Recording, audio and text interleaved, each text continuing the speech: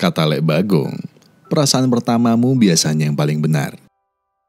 Entah kenapa tiba-tiba Lek Bagong berkata seperti itu. Sambil mengoleskan autan di kepalanya yang botak doang, tapi nggak podcast. Namun ketika saya menelisik lebih dalam pembicaraan ini, mata saya tertuju pada HP Lek Bagong yang sedang menonton film drama Jepang. Karena saya penasaran, akhirnya saya ikut menonton filmnya, sambil membantu Lek Bagong mengoleskan autan di kepalanya.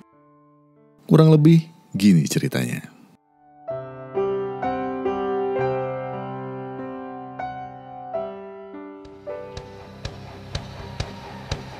Is tomorrow comes alien Maya Feeling fine enough to tell it that I know.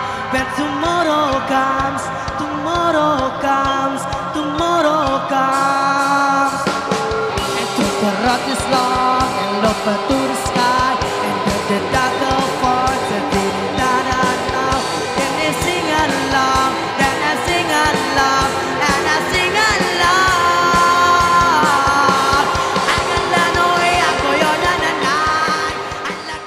Namanya Aki.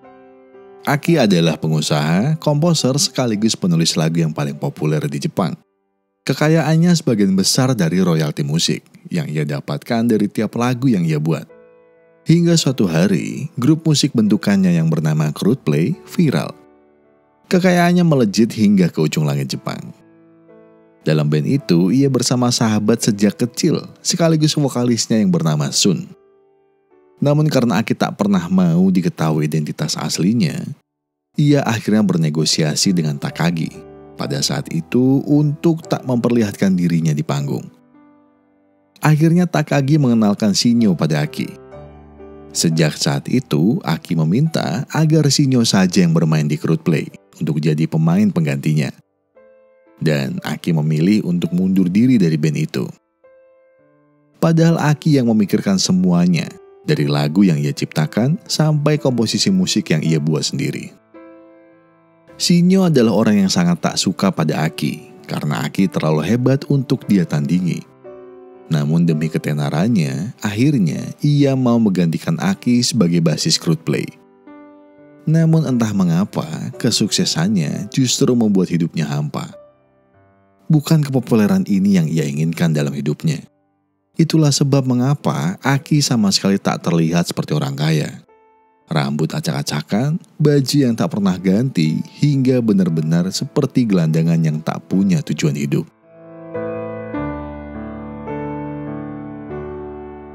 Hingga suatu hari, teman-temannya menjemput Aki menggunakan helikopter untuk sekedar nongkrong bareng, merayakan kesuksesan mereka. Dalam hingar-bingar kehidupan mewah dan ketenarannya, tapi dalam benak Aki yang terdalam, ia merasa kesepian. Tak ada keindahan sedikit pun yang bisa ia nikmati di sana. Uang memang penting, tapi bukan berarti segalanya butuh uang. Di atasnya langit Tokyo yang indah, tersimpan kebosanan yang tak pernah berujung. Apalagi bersama Takagi, pemimpin utama label musik paling besar di Jepang, yang hanya memikirkan uang yang masuk untuknya tanpa pernah peduli bagaimana cara menikmatinya. Hingga suatu pagi di rumah, pacarnya datang tiba-tiba. Pacar Aki namanya Mary. Ia juga artis terkenal dan sangat kaya. Aki membuatnya terkenal dengan lagu Mary yang hits. Seperti biasa, Mary selalu menggoda Aki untuk dibuatkan lagu lagi, agar ketenarannya tak meredup. Namun hari itu juga, ia meminta putus dengan Mary. Aki berkata bahwa ia sudah tahu jika Mary selingkuh dengan pimpinan label rekaman, hanya untuk memuluskan langkahnya menjadi artis. Aki benar-benar sudah muak dengan semua keadaan yang terjadi dan pergi dari rumah. Berhari-hari Aki menghabiskan waktunya di perjalanan, hingga tak terasa tubuhnya pun makin tak karuan. Dia benar-benar gembel yang tak tahu arah hidupnya sendiri. Hingga ia tak sengaja menyenandungkan sebuah lirik.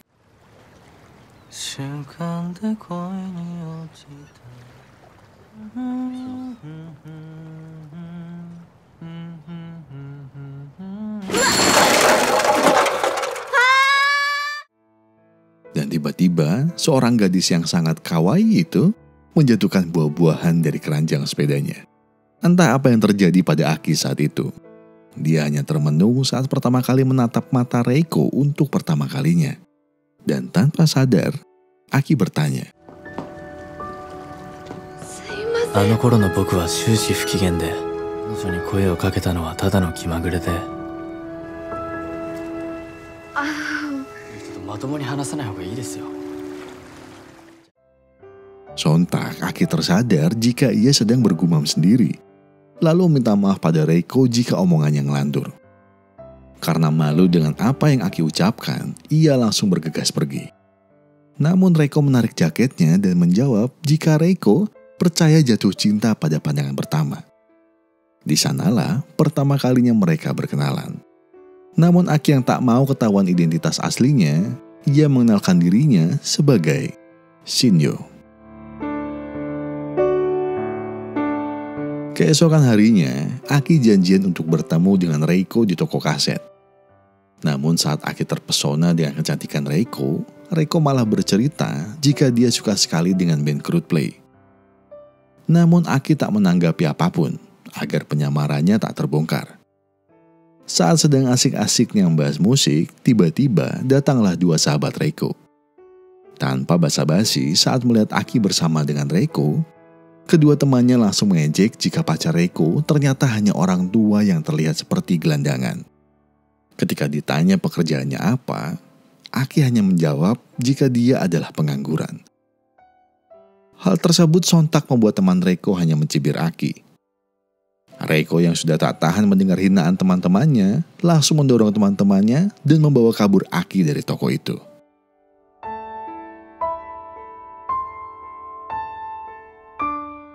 Aki benar-benar merasakan sensasi baru. Merasakan keseruan bersama Reiko yang tak pernah ia dapatkan sebelumnya. Tiba-tiba Reiko bersenandung nada yang sama saat di jembatan kala pertama bertemu dengan Aki. Aki langsung menghentikan Reiko bernyanyi. Dan berkata jika ia tak suka musik. Dan tak mau punya pacar yang suka dengan musik. Aki tahu bahwa penyamarannya sedang menyakiti dirinya sendiri tanpa terasa, air mata Aki menetes di pipinya. Melihat itu, Reiko langsung memeluk Aki. Pelukan yang tak pernah Aki rasakan sebelumnya. Rasa yang selama ini dicari oleh Aki. Dan hari itu juga, mereka berdua saling mengungkapkan perasaannya, dan matahari yang bersinar dengan indah menjadi saksi resminya mereka berdua berpacaran. Reko sendiri adalah anak SMA dan seorang anak tukang sayur yang miskin. Untuk menyambung hidupnya, ia harus mengamen tiap hari bersama kedua temannya. Hari itu Reko sangat kepikiran dengan ucapan Aki, karena ia ingin menghargai Aki, karena Aki tak suka wanita yang bermain musik. Tapi di sisi lain, mengamen adalah satu-satunya hobi sekaligus cara dia untuk menambah uang jajannya tiap hari. Dengan berat hati, Reiko tetap mengamen dengan teman-temannya demi menjalani hidup. Namun tanpa disangka, Pak Takagi ada di sana. Ia tak sengaja mendengar suara Reiko dari jauh. Ia sangat kagum dengan potensi besar yang dimiliki oleh Reiko. Pak Takagi pun bergegas menemui Reiko dan menawarinya untuk rekaman di label produksi miliknya. Hingga suatu hari, berkat bantuan Takagi, Akhirnya gue pengamen Reiko mendapat kesempatan rekaman dan akan dibantu untuk perilisan promo album mereka. Mereka sangat tak menyangka bisa mendapat kesempatan yang besar di industri musik Jepang. Aki pun diundang Pak Takagi ke kantornya, tanpa tahu Reiko juga ada di sana. Saat Pak Takagi menawarkan Aki untuk produksi band anak SMA, Aki langsung menolak karena tak mau diperbudak oleh bisnis musik. Lalu datanglah Sinyo yang mengambil alih kesempatan itu untuk memproduseri band milik Reiko karena ia tak pernah mau kalah saing dengan Aki. Lagi-lagi, Aki tak tahu jika band yang dimaksud oleh Pak Takagi adalah band Reiko dan pergi begitu saja. Malam itu, Reiko menelpon Aki. Dia merasa galau. Di satu sisi ia bahagia sekarang bisa rekaman musik di studio. Tapi di sisi lain, Reiko menghargai Aki karena tak mau pacaran dengan pemusik.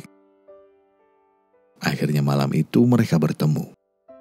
Hanya candaan ringan dan pelukan hangat. Tanpa saling tahu bahwa mereka berdua saling menutupi rahasia masing-masing di diri mereka. Beberapa hari berselang, mereka diundang oleh Sinyo untuk peluncuran single baru Crude Play. Tanpa sengaja, Aki pun sekedar mampir ke studio untuk melihat peluncuran single Crude Play di sana. Namun Aki tak sengaja bertemu teman Reiko kala itu. Ia pun bingung dan mencari patah kaki. Akhirnya, Aki benar-benar baru tahu faktanya jika band yang Pak Takagi maksud saat itu adalah Reiko dan Reiko sudah terlanjur menjadi budak cuannya Sinyo atas nama bisnis musik. Aki benar-benar tak terima jika Reiko hanya diperalat di dunia musik. Akhirnya, saat itu juga, Aki memberanikan diri untuk menemui Reiko. Dan dengan wajah yang sama-sama show, Aki mengungkapkan jati dirinya. Yang sebenarnya, bahwa selama ini Aki berbohong. Pengangguran yang tak terlihat gembel yang selama ini Reko cintai, tak lain dan tak bukan, adalah idolanya sendiri di Crude Play. Akhirnya, malam itu pun mereka saling menceritakan semuanya. Aki berbohong selama ini ia menjadi gembel pengangguran dan tak suka perempuan yang hobi menyanyi. Tapi sebenarnya, Aki tahu jika Reiko adalah penyanyi. Jauh sebelum mereka berkenalan, Aki selalu melihat Reko ngamen tiap hari, namun tak pernah berani menghampirinya sedikit pun.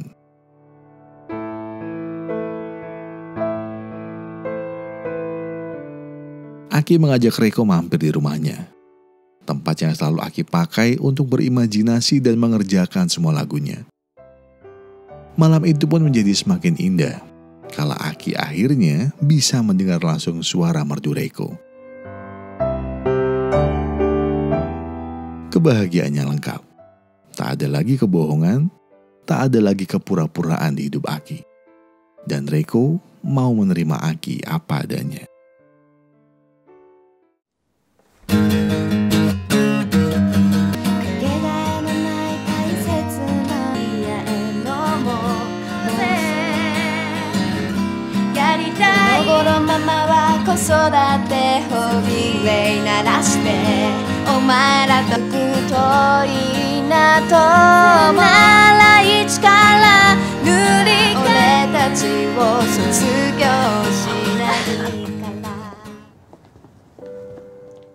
Setelah mereka menikmati malam bersama di rumah Aki, Aki pun mengantarkan Reko pulang ke rumahnya.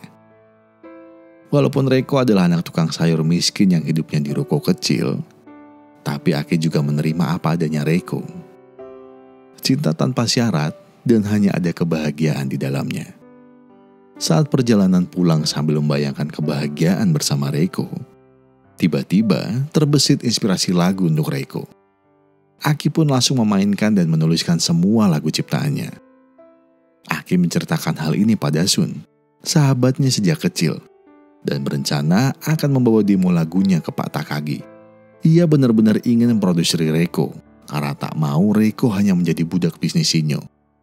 Namun saat memohon pada Pak Takagi untuk memproduksi Reiko, Aki sudah terlambat. Karena hari itu adalah debut pertama Reiko dengan produsernya, Sinyo. wartawan sudah datang memenuhi aula sekolah Reiko. Hari itu benar-benar bintang musik baru telah hadir di industri Jepang. Nama bandnya adalah Mas. Namun di tengah semua orang, Reiko memilih kabur dari sana dan memilih untuk menemui Aki. Ternyata Reiko pun sama dengan Aki. Ia lebih suka menyanyi dan menjalani hobinya tanpa harus mendapatkan semua kepopuleran itu. Mendengar hal itu, sambil berjalan-jalan, Aki pun berjanji akan selalu melindunginya dari industri musik yang kejam. Dan berjanji jika Aki akan menciptakan lagunya sendiri khusus untuk Reiko.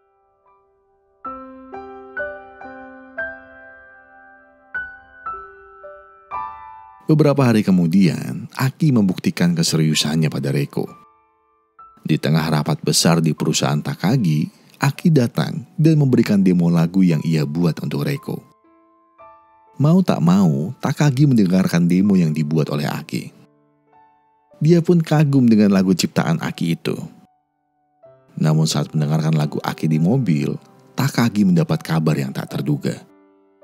Takagi mendapat informasi jika ada paparazzi yang mengetahui hubungan Aki dan Reiko di jembatan kala itu. Ia pun memanfaatkannya untuk keuntungan Takagi sendiri.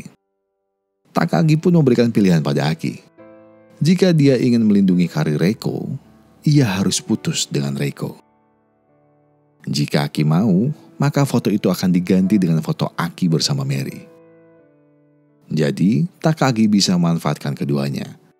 Reiko tenar dan Mary mendapat panggungnya lagi karena hubungannya viral dengan Aki.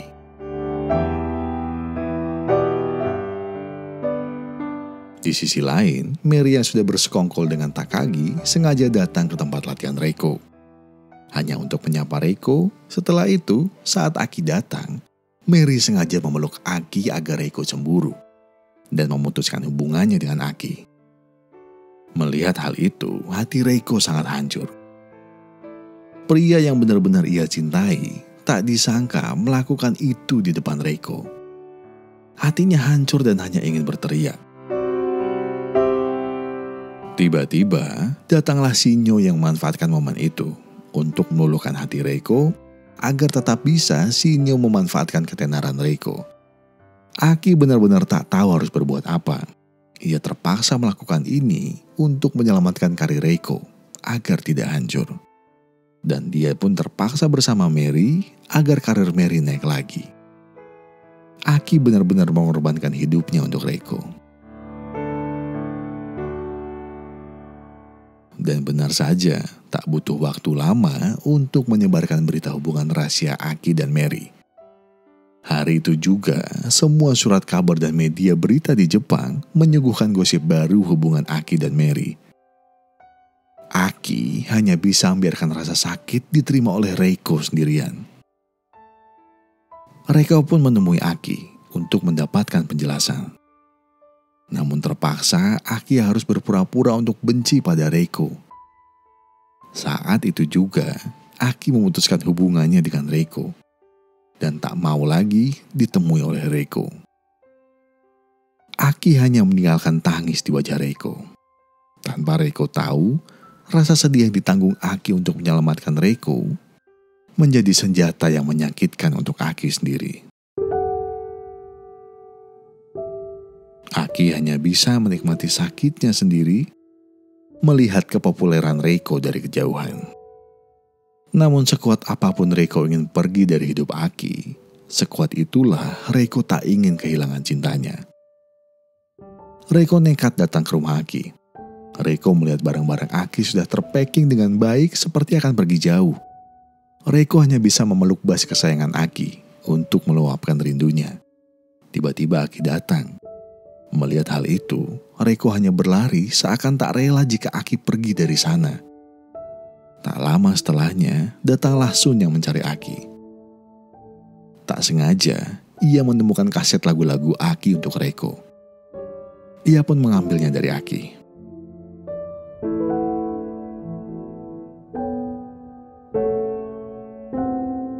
Keesokan harinya, Sun langsung menemui Reiko di studio. Ia memberitahukan pada Reiko jika Aki akan pergi ke London untuk memulai karir musiknya yang baru. Sun menceritakan jika ia merasa Aki menjadi sangat hebat dalam bermusik setelah berpacaran dengan Reiko. Untuk berterima kasih pada Reiko, Sun memberikan kaset yang ia curi dari rumah Aki. Sun ingin Reiko mendengarkan semua lagunya, karena di situlah semua rahasia akan terungkap. Sun juga memberitahu jika satu minggu lagi hari keberangkatan Aki ke London. Dan benar saja, saat mendengarkan lagunya, mereka baru benar-benar paham. Ternyata selama ini, Aki benar-benar mencintai Reiko dari lubuk hatinya yang paling dalam. Aki tak mencintai Mary sama sekali. Mendengar semua lagunya, seakan membawa Reiko hanya untuk meneteskan air mata melihat pengorbanan Aki selama ini. Dan hari keberangkatan Aki ke London pun tiba. Sangat berat meninggalkan semua kenangan indah bersama Reiko di Jepang. Saat dalam perjalanan, tiba-tiba Sun menelponnya untuk mengambil bas kesayangan Aki yang Reiko titipkan padanya. Namun saat Aki datang hendak menemui Sun, ternyata yang ada di sana adalah Reiko. Reiko pun akhirnya mengungkapkan semua perasaannya pada Aki. Ia sudah tahu semuanya dari lagu yang Aki ciptakan. Dan Reiko berjanji akan tetap mencintai Aki. Reiko memohon untuk terakhir kalinya, ia ingin menyanyikan lagu ciptaan Aki. Sebelum Aki pergi meninggalkan Reiko ke London. Akhirnya Aki pun mau, dan mereka menghabiskan senja yang indah dengan lantunan nada yang tak akan Aki lupakan.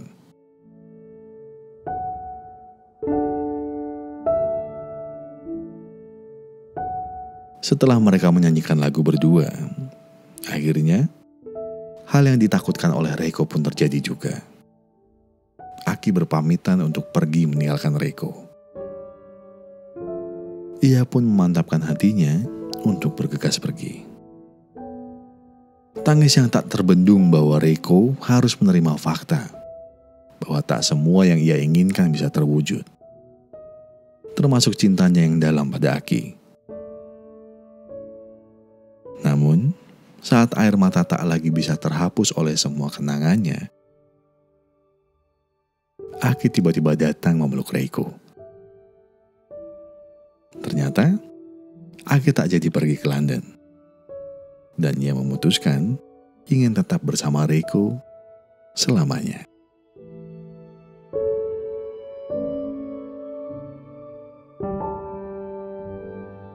Uh, film ini benar-benar membawa saya terhanyut dalam air mata di warung Lek Bagong malam itu. Saya baru benar-benar mengerti kata Lek Bagong. Bahwa cinta pandangan pertama itu memang cinta yang sesungguhnya. Terkadang kita tak pernah tahu kapan ia datang. Rasa cinta terkadang datang seperti maling. Dia datang tak pernah izin. Begitu saja. Membawa semua kenangan indah kala bersamanya Aku tak pernah tahu apa yang terjadi ketika bersamamu. Semuanya terasa indah dan penuh haru. Hadirmu datang seakan membawa sebuah mesin waktu. Merangkai semua keindahan, membawa dekap yang selalu dekat, dan membawa yang tak pernah kita percaya menjadi selamanya. Saya Gogon bersama Lek Bagong yang masih main solo lord pakai estes mengucapkan terima kasih sudah menonton video ini sampai habis. Dan sampai jumpa di video kami yang lain. Ingat, kalau kalian lagi ada masalah, kalau kalian pusing mikirin sesuatu, kalau kalian, iya pokoknya kayak rame banget kepalanya, nggak ada masalah buat duduk sebentar, terus batin dulu.